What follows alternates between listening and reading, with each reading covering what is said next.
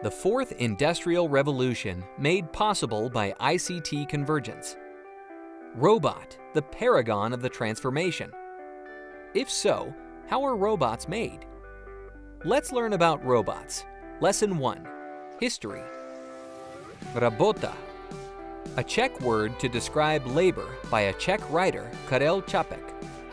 In 1920, Čapek depicted a human form machine that subjected to forced labor under man's order in his play titled as RUR, Rossum's Universal Robots. However, the robot in the play was not the commonly known one, but rather a humanoid. The word robot is obtained after deleting the A. It signifies a machine resembling man with the ability to work on its own. The study of robots, the term robotics, was first coined by SF writer Isaac Asimov in 1941. It was after World War II when robotics technology emerged, thanks to the creation of computers and semiconductor devices. After the development of computers in 1954, an American inventor called George Devol came up with the ways to control machine operations and computer programs. It sent instructions to robots about the orders and methods to perform tasks via computer. In 1961, George Devol and Joseph F. Engelberger established the first robot company, Unimation. That same year, the first industrial robot, Unimate, was introduced to the public. It was in charge of carrying parts at GM's New Jersey plant. Since then, the demand for industrial robots have abruptly skyrocketed.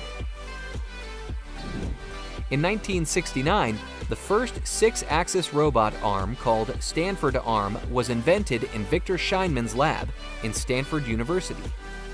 The first computer-controlled industrial robot, T3, was developed by Milacron in Cincinnati in 1974. To recap, the first industrial robot, Unimate, was invented in 1961. Followed by the Stanford arm, the first six-axis robot arm, and T3 or the first computer-controlled industrial robot in 1974. Ever since, the robot industry has made continuous development.